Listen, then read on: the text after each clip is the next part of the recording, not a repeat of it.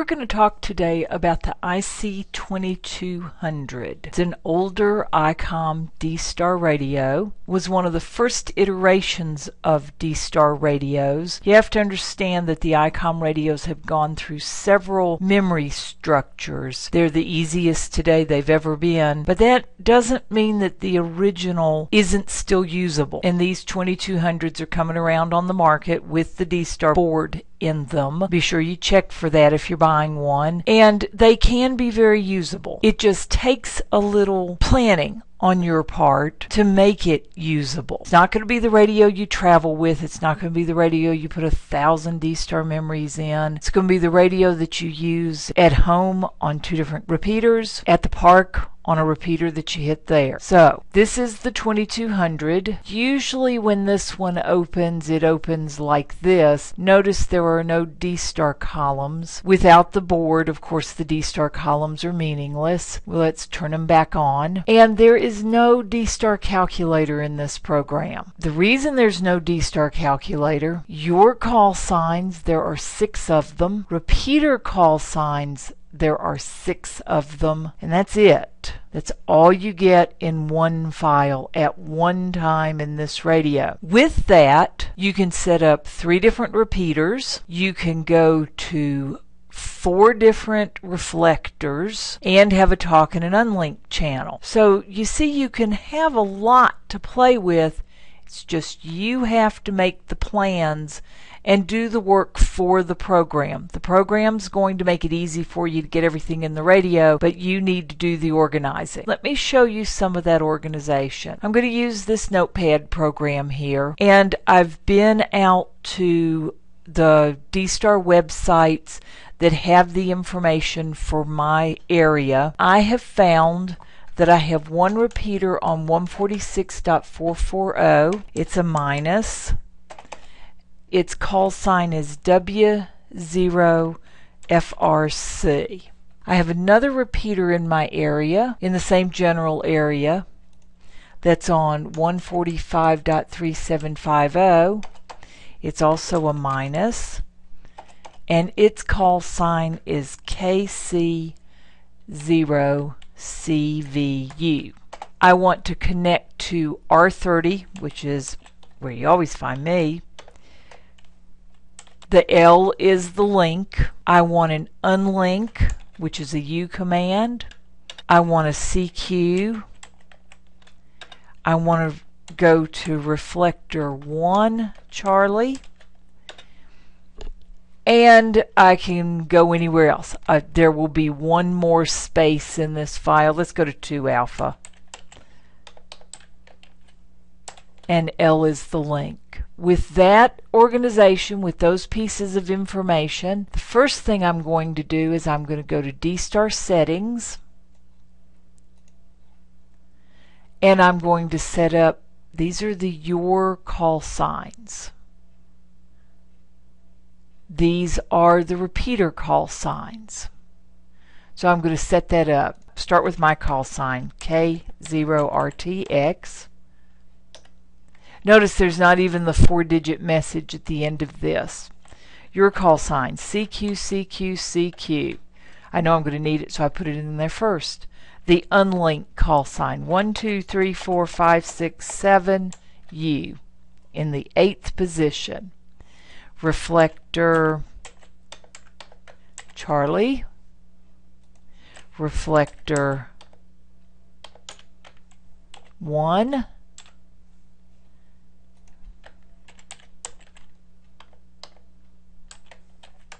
There's a net on this one on Sunday nights. And let's go ahead and give it the echo because I don't know if I'm going to be able to hit the repeater I'm going to. One, two, three, four, five, six, seven, echo. That could just as well be the information setup, but I need to use echo. Repeater call signs, we have KC0CVU, and we're going in on the C side of it. We have KC0CVU. We're coming out on the gateway. Notice I can't type. You can probably hear that. It just means I'm one too many spaces into it. And I also have W0 FRC and just backspace 1 and I'm going in on the C side W0 FRC and I'm coming out on the gateway. Set up a text message and tell this OK. Let's make this one 14652. It's FM. We don't do anything with the D star. I'm going to start down here. The first repeater was 1453750.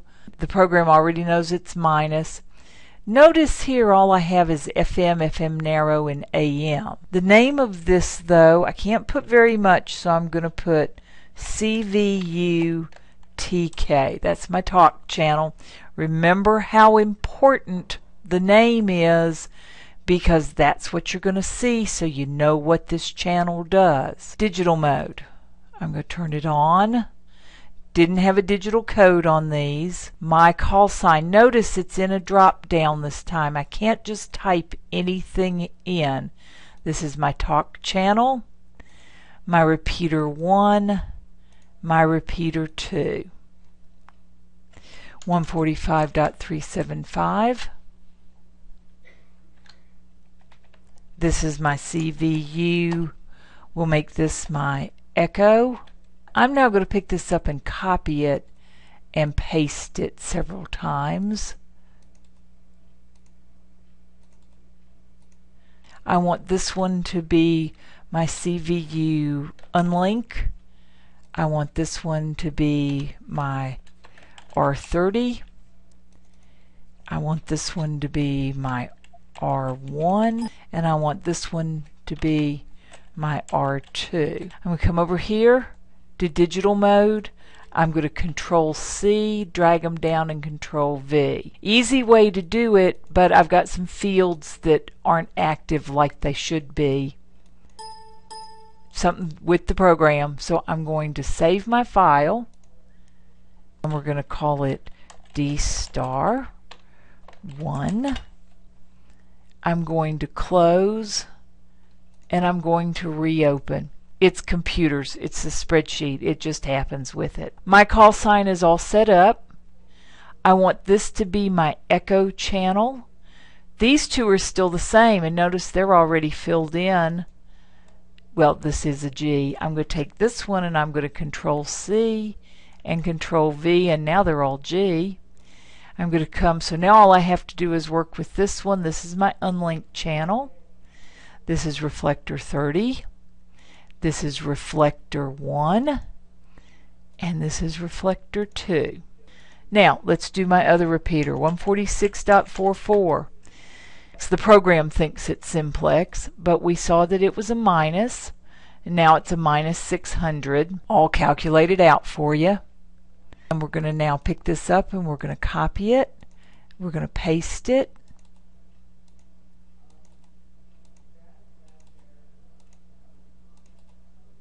And I'm going to save it. It's computers, save often. I'm going to turn it on.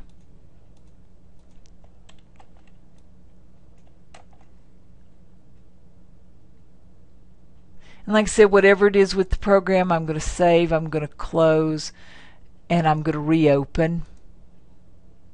A lot of it's now already filled in, but not quite right because this is the W0 FRC repeater and W0 FRC. I'm going to pick this up, Control C, Control V, pick this up, Control C, Control V, I'm going to make this my unlink. I'm going to make this my echo. I'm going to make this 30 Charlie. I'm going to make this 1 Charlie. I'm going to make this 2 Alpha. I just used the same your call signs for a second repeater. So i w- I'm able to get a lot of mileage out of these. And this is now the FRC talk.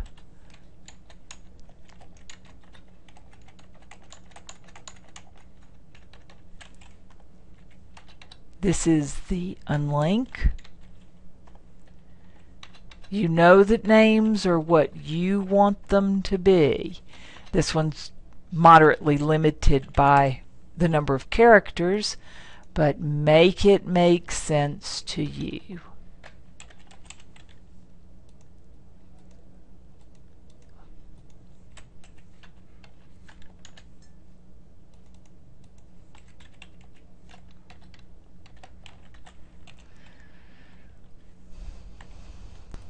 Let's look at one more thing here. Notice I have two more spaces here. I could set up another repeater, talk, unlink, echo, three reflectors. I could I can't change one of these if I'm going to use them on the two repeaters that I've already set up. But I could, if I decided I didn't want to use the echo and I take the echo out of all three of them, I can change this to another reflector. I don't have to use them all on that other repeater. So I have, now I have three repeaters and I have several places I can go. This file's ready to save, send to the radio, and as with all D-Star files, you listen on your talk channel, you come down and you connect to a reflector. Once connected and the repeater tells you it's connected, you go back to your talk channel and talk and enjoy your new company that you find all over the world. You go to unlink and hang up because it's always nice to hang up if you're the one that dialed. Can do either one of the two repeaters depending on which one you're closer to. Remember, you must be able to hit the repeater. Just as in analog, you have to be able to hit the repeater. Your commands are all set up, ready to tell the repeater what to do. Coming in on the C side, going out on the gateway. It's a great little radio. If you use it for travel, you'll just set up several different files and download each day. But for using it home, you'll be in business, talking all over the world. This is Karen, K0RTX at RT Systems. Be listening for you on the air.